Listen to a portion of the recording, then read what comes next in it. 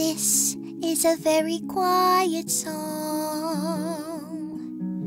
If you sing softly, you can sing along. It's almost like a lullaby, but every so often, I don't know why, there's loud bits!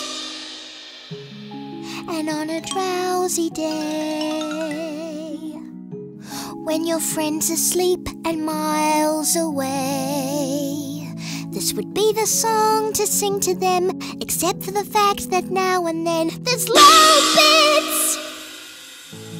Most of the song is hard to hear. Then, for no reason, there's a loud word in your ear.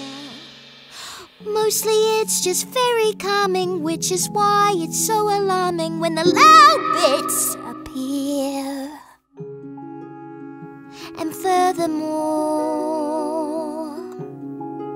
if you've heard the song before, you'll know it doesn't just peter out, it ends all at once with a crazy shout. Ah!